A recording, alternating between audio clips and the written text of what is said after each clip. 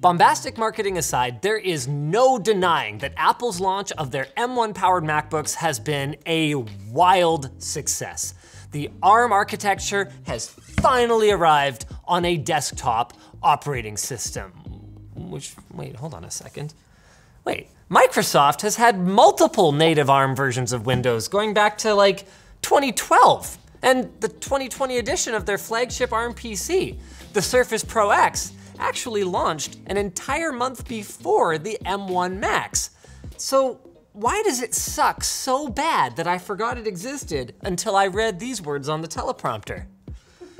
Let's explore that after I read you some more words about our sponsor. Redux is a PC builder striving to bring PC gaming to the masses by offering no price markup on parts, just a $75 build fee. Check them out and create your PC at the link below.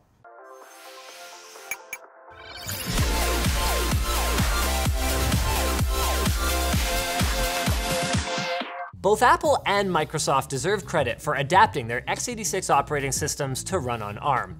But while their goals were similar, the strategies they used were quite different. And to see why, we have to go back, Marty! Not to the future, to the past! So it's just the regular type of going back. Microsoft released their first ARM native OS, Windows RT, in 2012 on the original Surface tablet, which was powered by an NVIDIA Tegra 3 ARM SoC. People hated it, mostly because it couldn't run basically anything, and it died off by 2015. But then in late 2016, Microsoft announced Windows 10 on ARM, a 64-bit OS that would allow Windows laptops powered by Qualcomm processors to enjoy smartphone-like benefits like built-in LTE connectivity and long battery life. Thin and light ARM notebooks based on Windows 10 on ARM trickled into the market, and in 2019, Microsoft released the first Surface Pro X. It was powered by the Microsoft SQ1, which was essentially a modified version of the Snapdragon 8CX, Qualcomm's laptop SoC. Then, just a couple months ago, Microsoft updated the Surface Pro X with the SQ2, which is again a modified version of the Snapdragon 8CX, but this time Gen 2. As they've always done, Microsoft clearly focused more on the software side of things, relying on established ARM chip makers like Qualcomm to build desktop class ARM processors. But Apple, well, you might say they thought different. Every iPhone and iPad for the last 10 years has run on both Apple designed ARM processors and an Apple designed operating system iOS, and then later iPad OS, respectively. And while Microsoft has been adapting their desktop OS to run on lower power mobile chips, Apple has been adapting their mobile OS and custom chips to drive higher power near desktop class experiences. And that's a strategy that seems to have paid off here. As we said in our last few iPad Pro videos, with iPad OS, a keyboard, trackpad, and the right apps, the iPad can replace your laptop. Don't at me, unless it's to tell me how great I look in my LTT Store toque. Thank you, by the way. But we're not here to talk about toques or iPads for that matter. We're here to talk about laptops. So let's get back to our arm wrestling contenders. The M1 MacBook Air and the Surface Pro X SQ2 represent Apple and Microsoft's best attempts yet at creating native ARM laptops. Okay, well, the Mac Mini and MacBook Pro are actually Apple's best attempts, but it wouldn't be fair to use them in this comparison. You guys get the idea. So how do they compare? Both systems feel snappy while just navigating the OS, doing basic web browsing, and even using Microsoft Office. They're quick to wake from sleep, log in with biometrics, and their batteries have no problem lasting the entire workday. It's pretty safe to say that the average macOS or Windows user probably wouldn't even realize that these machines are built on a completely different architecture than they're used to. And this is where we have to drop the both of them are pretty great angle. If you've already seen any of our M1 Mac videos, you'll know just how surprisingly impressive their performance is. Not just while running native ARM apps, but also while emulating x86, both 32 and 64-bit apps through Rosetta 2. And if you watched our review of the first Surface Pro X, you'll also know that Windows on ARM hasn't officially supported x86 64 emulation up until now, which is exactly why we were excited to do this comparison. Because on December 10th, Microsoft added x64 emulation to the insider preview of Windows. Now, it was in the dev channel, which is the earliest and least consumer ready of the three insider channels, but we were really excited to take it for a spin. And after installing it, well, on every benchmark we could actually get running on the Surface Pro X, the M1 MacBook Air just, to put it simply, dominated. The M1 performed over twice as well as the SQ2 in our browser benchmarks and Geekbench, even after updating the Surface Pro X's firmware. And in case you're wondering why Chrome did so poorly, here's the thing. Chrome still doesn't have a native ARM version on Windows, despite having one for Chrome OS and for Mac OS. I mean, this is rough. We had hoped that Windows on ARM's new x86 emulation would allow for some direct comparisons with more 64-bit benchmarks, but the only one that worked on the Pro X was Cinebench, where the M1 took an even more drastic lead. We were able to install and open Luxmark for a few seconds, but we gave up on actually completing the benchmark after hours of crashing.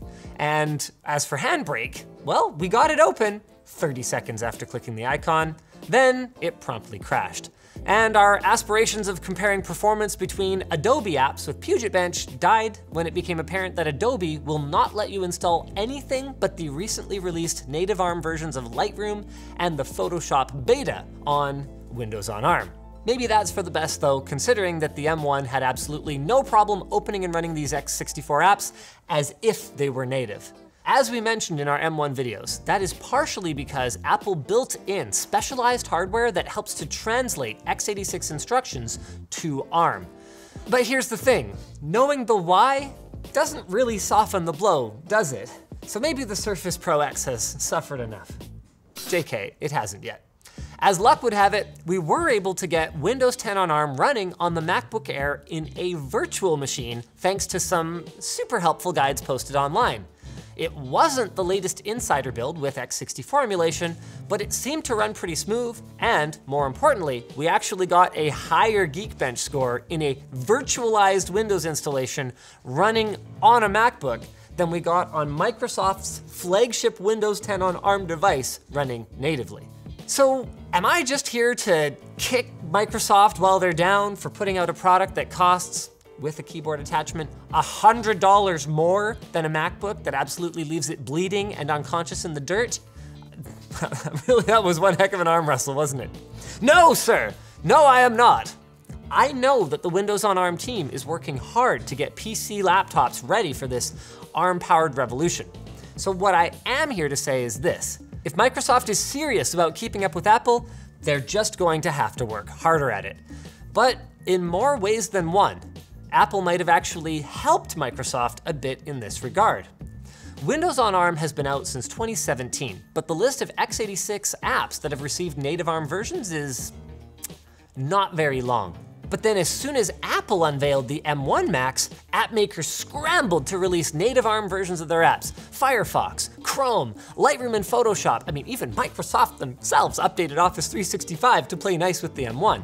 So as a Qualcomm rep said, it appears that Apple has validated the concept of powerful ARM-based PCs, meaning that with the release of these new Macs, uh, while the Surface Pro X might lose one-on-one -on -one against the new MacBook, Apple has made waves that could carry Microsoft to, well, probably not exactly where Apple's at right now, but they could carry them somewhere.